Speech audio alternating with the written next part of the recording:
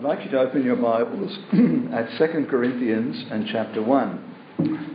And we're going to begin a new series of sermons, messages from uh, God's Word, the Bible, and they're coming from 2 Corinthians. Try and work our way through this, uh, this letter, and we'll see how far we can go in, in the months ahead. Today we want to look at what God says in the first seven verses of 2 Corinthians chapter 1. And so, for this to make sense to you, I'd like you to have your Bibles open, be able to see uh, the passage that we're talking about as we go along, and uh, to understand it.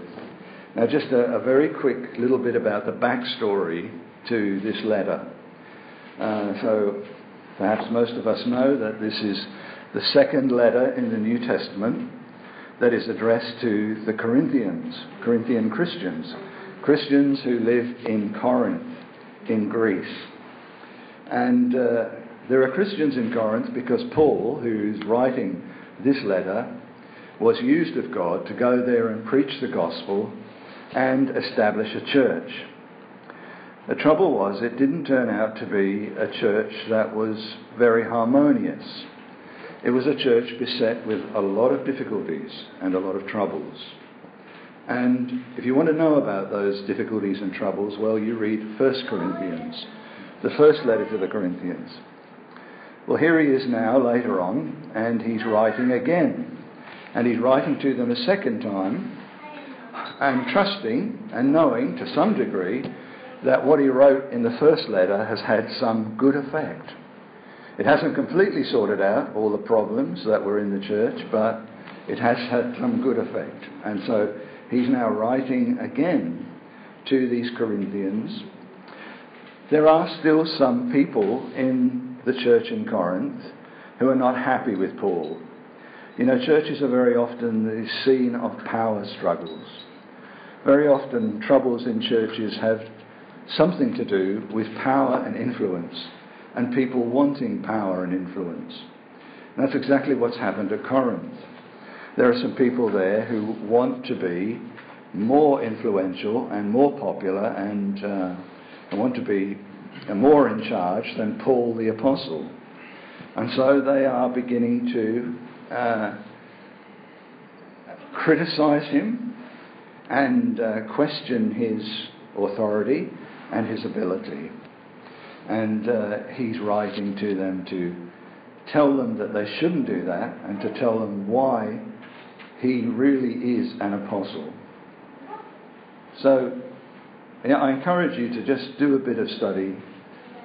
If you're completely unfamiliar with the Corinthian situation, then uh, look into it. Read 1 Corinthians, read 2 Corinthians over the next few months while we're having these messages. Now, coming back to what God will say to us here today from this part of the Bible. The first thing that you notice is that Paul always gives a greeting when he writes a letter. And you might be tempted to pass over those first few verses. But please don't do that because those first few verses are very important. And they're important here in this particular letter in the context of what he's going to say. So we've really got two different uh, sections, if you like. You've got verses 1 to 3, and then you've got verses 3 to 7. Verses 1 to 3 give you three really important insights insights into Paul and insights into us, uh, and especially into the church. Listen to what he says. He's writing to them, uh, and he says, Paul, an apostle of Jesus Christ, by the will of God, and Timothy, our brother, to the church of God which is at Corinth with all the saints who are in all Achaia or Asia. Grace to you and peace from God our Father and the Lord Jesus Christ.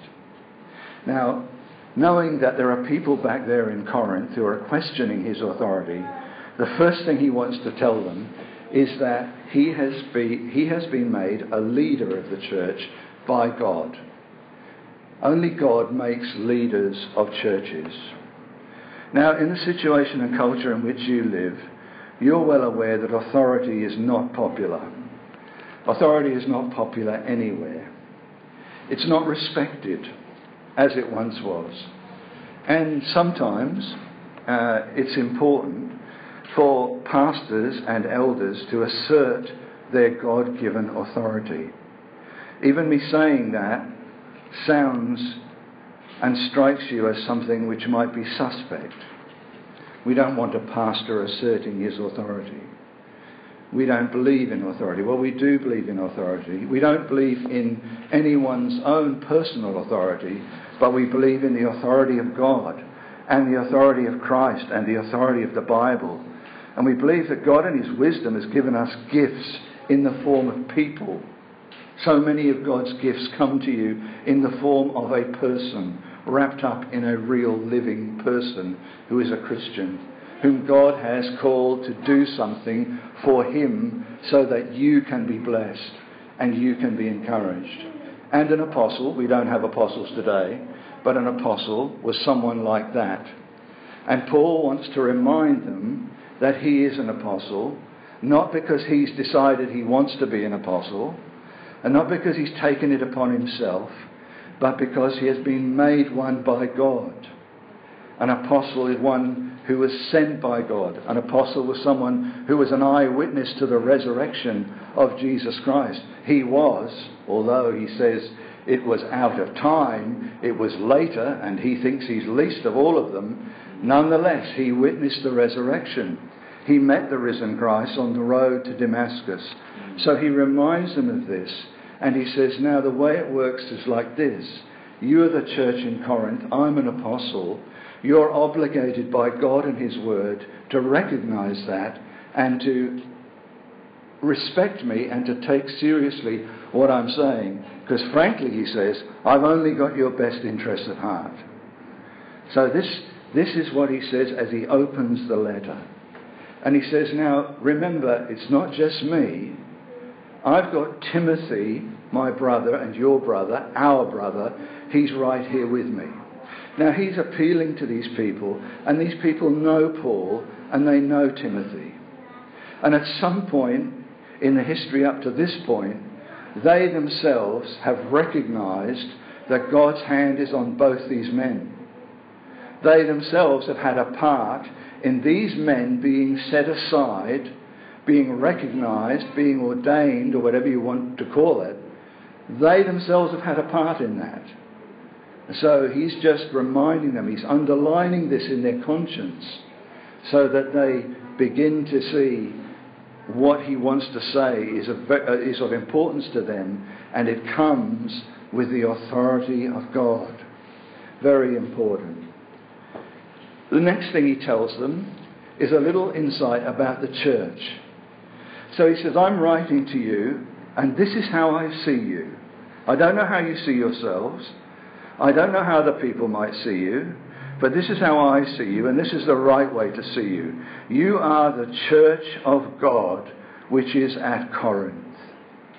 The church of God, which is at Corinth. Now, the ecclesia, the people who have been literally called out and called together. That's what the word ecclesia means. So at some point, and he's obviously talking about God calling, at some point in your lives, God called you out of darkness, out of your old life, out of your life which didn't have Jesus Christ in it at all.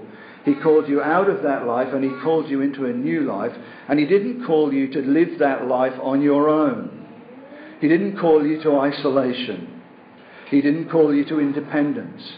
He called you out and He called you together and you are the church of God. Now, if you wanted to, you could find all sorts of reasons why you shouldn't be calling the Corinthians the church of God. Because their behaviour has been abominable at times. It really has. Read 1 Corinthians. The sort of things that have gone on in that church are the sort of things that even in this liberal minded cultural setting would scandalise most of us. But nonetheless, he calls them the church of God. The church of God. And then he says this with all the saints who are in Asia, with all the saints. So he says, now listen, you owe your existence as a church to God. Not only do you owe your existence as a church to God, you're the church of God, but you are owned by God. Nobody else has ownership of your church, of this church. This church isn't owned by men, it isn't owned, and he's making sure they don't think he thinks he owns it, even though he says he's an apostle, rightly so. The church isn't owned by any man or any men or any denomination or any people or any factions that might want to own it. No, the church is owned by God. It is the church of God, he says.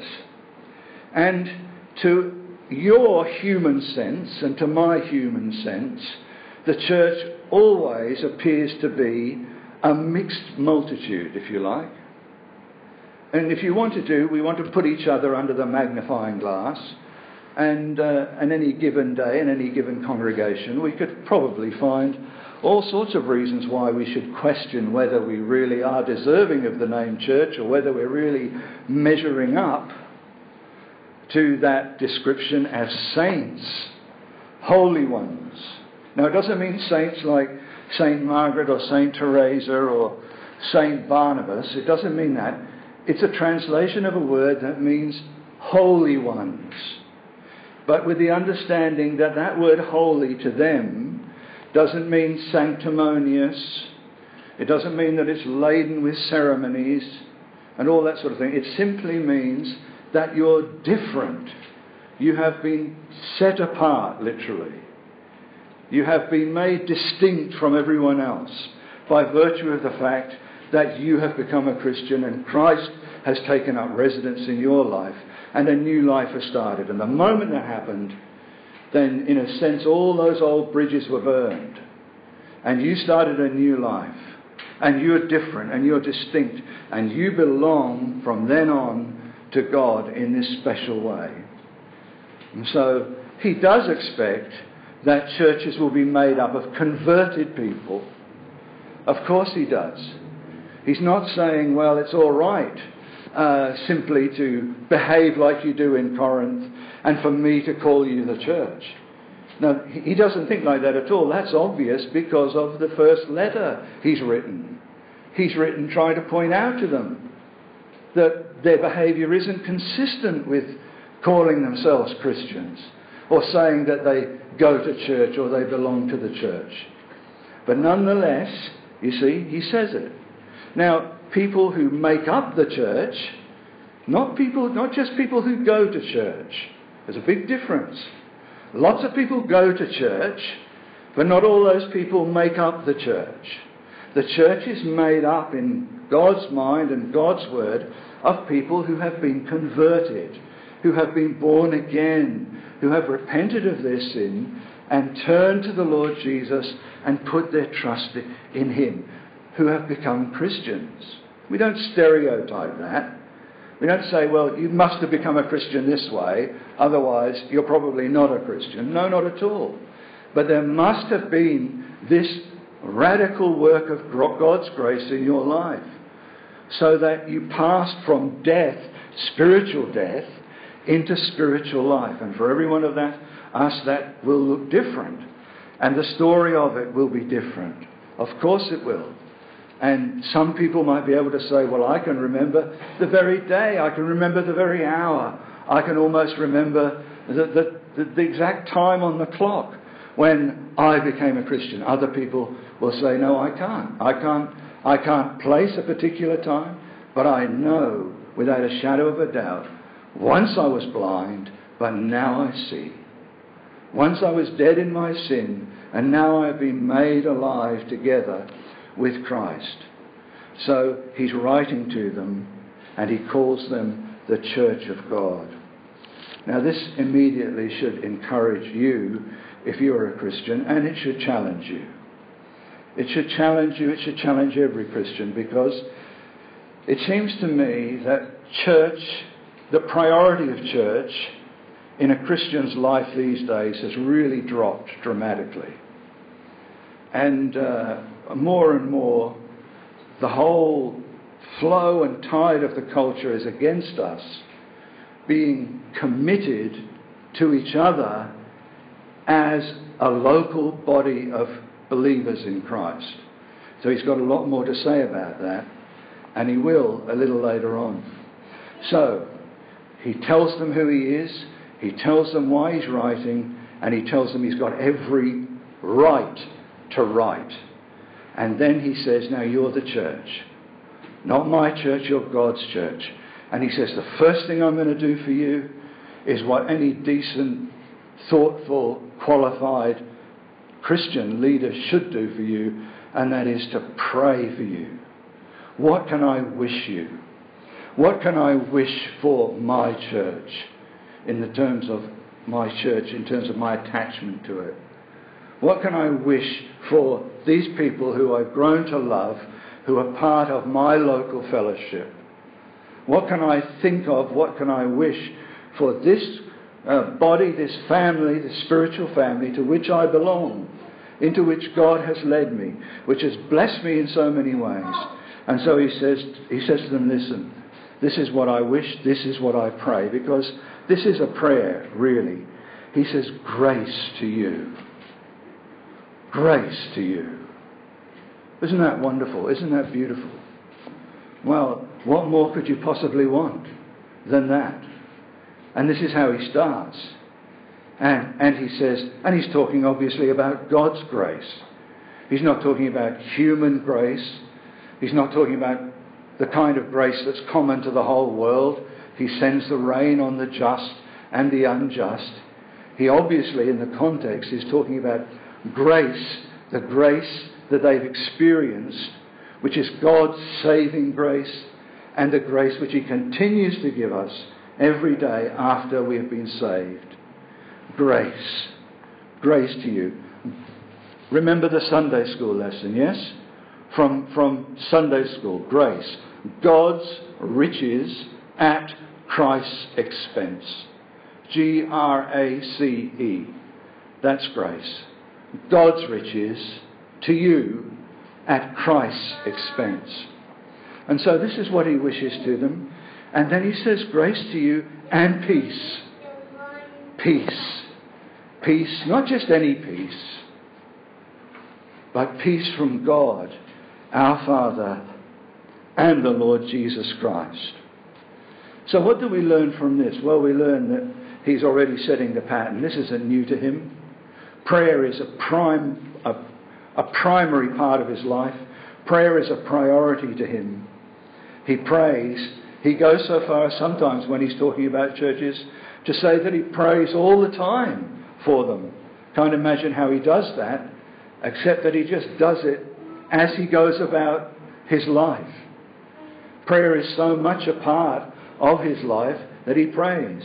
A bit like my mother in law, Sue's mum, who was the wife of a dairy farmer and the mother of six children, very committed in a local church, busy on the farm, but prayed. And Sue will tell you, you see her washing up dishes and you can see her lips moving and no sound coming out. What was she doing? She was praying. She was praying. And Paul says, he says, Yes, I pray for you and I pray for the church. So don't think prayer is simply something that you have to go to a prayer meeting to do. You should go to a prayer meeting. You really should. There should be a, a, a at least uh, at some point in, in your week where you gather with other Christians to pray, perhaps part of a Bible study, perhaps a specifically a prayer meeting. But don't limit your understanding of prayer to that. Pray anywhere, anytime, at any point. You can pick up the royal telephone and you can call home. You can cry out to God. You can do it in the middle of the night. You can do it in a hospital. You can do it in a prison. You can do it on the brink of death. You can do it in the maternity ward. You can do it as you recover from a an accident or something, anytime, anywhere, any place. So he prays. And he prays for the two most crucial blessings any church could ever have grace and peace. Can you imagine a church? Perhaps you can, where there is no grace and where there is no peace. Why, even the world, even the most ignorant unbeliever who came into this place today would expect that here, of all places, he would be able to find, he may not be able to describe it in the words, but he would expect this would be a place, a gathering, in which there would be grace and peace. They go together. The church and those things go together. In people's minds, they go together. That's their expectation. Well, it's a right expectation, isn't it? Grace and peace. Perhaps at some point in your life, in the providence of God, you may not know why, but perhaps at some point in your life, you've been in a church and there's been very graceless behaviour. And I'm sure it's made an impact upon you. And I hope it's made the kind of impact on you that it's made on me, which is I never ever want to hear it or see it or be part of it or be near it ever again as long as I live. Because it is the thing that is most contradictory, it seems to me, to the gospel and to salvation and to the love of God. So, grace and peace. Well, surely this is a place where you find peace. I went to Royal Prince Alfred Hospital for a checkup, and I notice every time I go, I notice the Roman Catholic Cathedral right across the road has its doors wide open, and people go in there. What do you find when you go in there? What are you looking for when you go in there? Obviously, people who've come from hospital, they're traumatized, they're worried, they're fearful, whatever it might be. People go in there without even understanding it. What do they want to go in? They want a bit of peace. Oh, they want to just sit there, look at the sun shining through the lead light windows. They want to just bow their head. They just want peace. They want some peace. It's the same when I have this monthly meeting and we meet the same place in the city every time. And next door is the uniting is a uniting church. It has its doors always open. Has a little sign up saying, "Why don't you come in here and find a bit of peace for a little while?" See, well, we're not talking about that kind of peace here so much. We're talking about peace, that pervading sense of spiritual well-being and acceptance that peace that comes because the thing that troubled you most, because of the work of the Holy Spirit, was your sin and your disobedience and your life up to this point. And perhaps you look back on your life to this point and think it's a train wreck, spiritually speaking, if I take stock of it. So many things, so many things, so many different things have happened. I've done so many things that are, are wrong. But peace in my soul. The peace that comes from knowing that my sins have been washed away by the blood of the Lord Jesus Christ. So my conscience is at peace. My conscience is quiet. It no longer condemns me, not in the sense as it once did. So, grace and peace. He wishes them, he prays for them, and my goodness, the church in Corinth needs it. It needs that peace because mum- mumblings and grumblings. You see, one of the things these false teachers in Corinth have been saying about Paul is Paul, you promised to visit us, and now you've changed your mind. And so we've gone to the congregation and we've used that and we've said to the congregation, there you go, that's an indication that Paul is not really qualified. He's not really an apostle. You see? He's going to talk about that a bit later on. So they certainly need that peace. Well, that's the introduction to his letter. Important, and it sort of sets the scene. And then from verse 3 to verse 7, he wants you to think uh, about three things. Let me read verse 3 to verse 7 for you again. We won't have time to open up all these three things, but at least we can identify them and think about them. So this is how he's starting his letter. Uh, and he says this Blessed be the God and Father of our Lord Jesus Christ. And then he gives God a couple of new titles.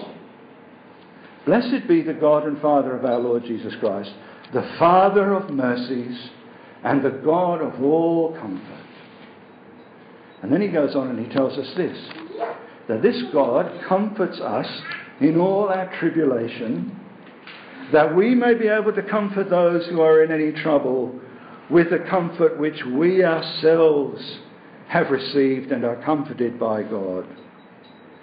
As the sufferings of Christ abound in us, so our consolation also abounds from Christ. If we're afflicted, we apostles, but all of us, any of us, if we are afflicted, it's for your consolation and salvation, which is effective for enduring the same sufferings which we also suffer. Or if we are comforted, it is for your consolation and salvation. Our hope for you is steadfast because we know you are partakers of the sufferings. As you are partakers of the sufferings, so also you will partake of the consolation. Now, what does all that mean? How can we sort of unravel all that and unpack it and, and, and get to grips with it? Well, think like this. There are three things here to think about. Three things here which he mentions.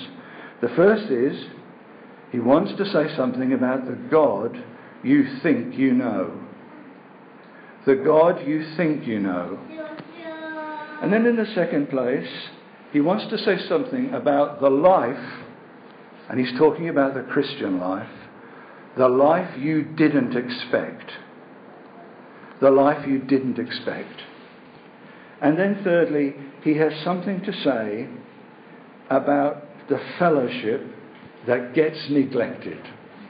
The fellowship that gets neglected. So there's three ideas which hopefully will give some structure and some understanding to what he wants to say to them. Now, first of all, of course, he's God centered, this man. He's God centered and he's Christ centered, and so it's not surprising that he begins by a benediction. Benediction, you think, usually might come at the end, but doesn't not necessarily coming at the end. It can come any time, and so he begins with essentially what is a benediction. It's uh, an expression of worship and appreciation and love, perhaps.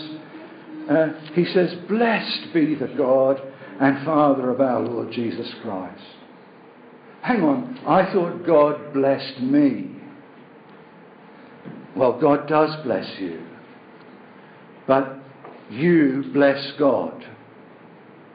There's nothing to stop you blessing God. Your life is meant to bless God. You see? Adorn, glorify, honour, worship and love, etc., etc. So he's saying now, let's together, he's writing to the church, let's say, blessed be the God. Blessed be the God and Father of our Lord Jesus Christ.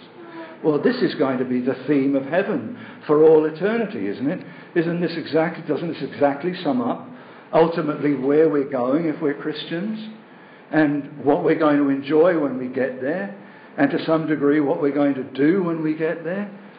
Blessed be the God and Father of our Lord Jesus Christ. So, of course, Paul believes wholeheartedly and absolutely and fundamentally in the Trinity. He believes in God the Father, God the Son, and God the Holy Spirit. One in three, and three in one. Three persons, one God, one Godhead.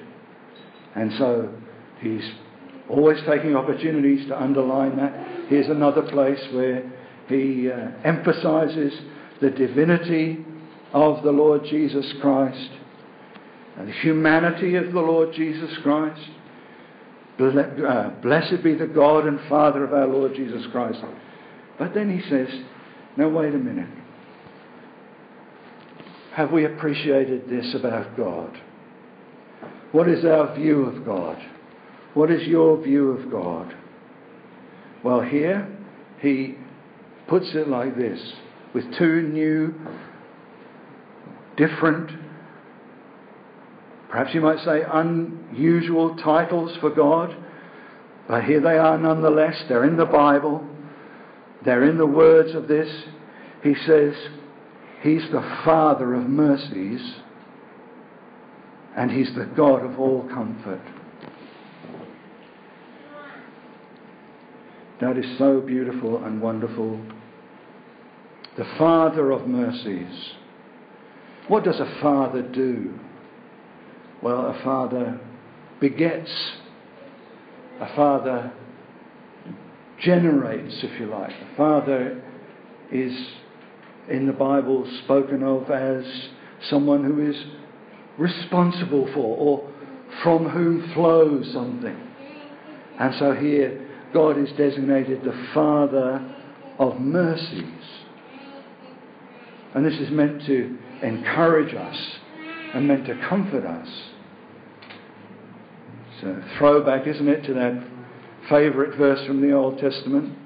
And we sing about it, don't we? That God's mercies, plural, are new every morning and his faithfulness is great. His mercies. My dear friend, where would you be without the mercy and the mercies of God today? Stop a minute and think about it. Where would you be? Isn't it true to say, and don't you know it? I know it so well, and you know it so well, that the one thing we're constantly in need of is the mercy of God. Not just to become a Christian. Of course, becoming a Christian, the death of Christ, the life of Christ, the resurrection of Christ, and all of those things, they are the supreme expression and gift of mercy to us. But every day we need mercy and mercies. Every time you go to God to seek forgiveness for something. No doubt you do that on a regular basis, as I do. I'm sure you do if you're a Christian. What are you really asking for? What are you really depending upon? What are you really in need of? Well, what you're really, what I'm really in need of, and what you're really in need of is mercy.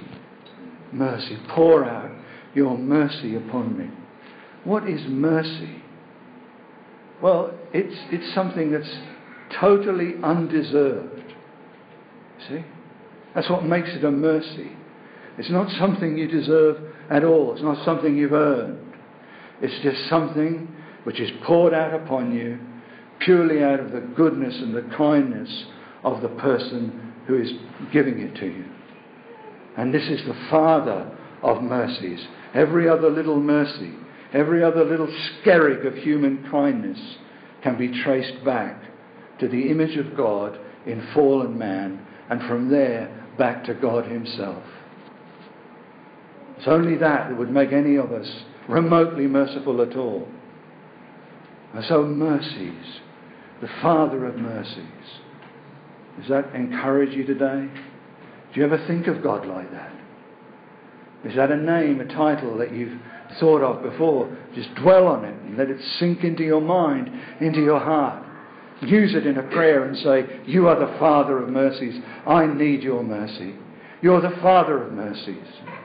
Please give me mercy today. And the God of not just comfort, but the God of all comfort. All comfort. He's talking about spiritual comfort, of course. The God of all comfort. You think he's the God of all justice? He's the God of all judgment. He's the God of all wrath. He's the God of all righteous anger against sin. Yes, he is. He's the God of heaven. He's the God of hell. Yes, he is, absolutely. But he's the God also of all comfort. He's writing to Christians. And some of those Christians are very discomfited. And perhaps you today are a very discomforted Christian. Think about that. All sorts of things that disturb us and disturb our spiritual equilibrium and our peace. And things that make us so uncomfortable in mind, in heart, in spirit, whatever it might be. It might be illness, it might be family problems, it might be a hundred things. The last thing you say about them is they're comfortable. You never describe them like that at all. They're very op- the opposite of it. But here, your God, the God that has saved you if you're a Christian today, He's the God of all comfort. All comfort. And He's the one to whom you should go, and I should go, and we should go when we're discomforted and when we're made uncomfortable. Now, he's talking from a background of where he's going to tell them. He's going to actually write a list for them of the kind of discomforts, physically and spiritually, that he has been through, and quite a lot of them on their behalf because of the Corinthians and other Christians and churches, not unlike the Corinthians at all. He knows very well what it is to be very, very uncomfortable. But he hasn't reneged on his love for God, on his appreciation of God, and on his understanding of God on the strength of those discomforts. No, he hasn't done that at all. He still regards God as the God of all comfort. The one you can go to if what you're needing and what you're looking for is comfort. Comfort.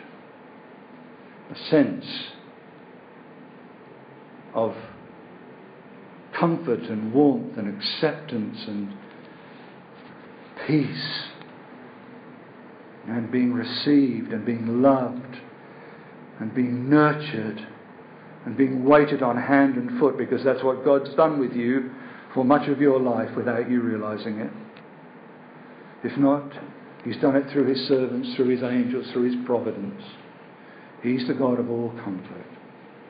And if God had withdrawn His hand from my life or your life at any single point in your existence on this earth, you would have been terribly uncomfortable. And if God were to withdraw his hand off society, off cultures, off nations, they become terribly uncomfortable places, don't they? We see that on every hand, don't we? So, this is the God we need to remember. This is the God we know.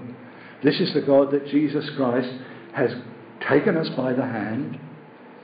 He's dealt with the thing that separated us from God the Father. He's led us by the hand and He's made peace between us and God.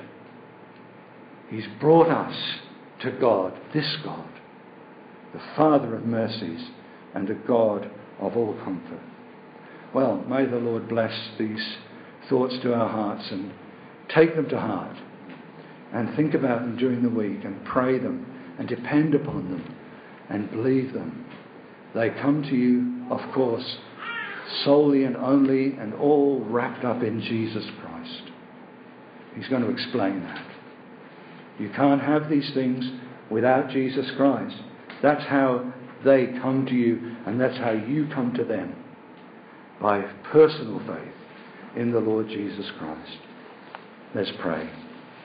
Oh, Heavenly Father, Father of mercies and God of all comfort, giver of grace and peace. We bow in your presence because we are your people. We are your church. And Father, we pray that that truth will dawn upon us in a new and wonderful way. And pray, Father, that we will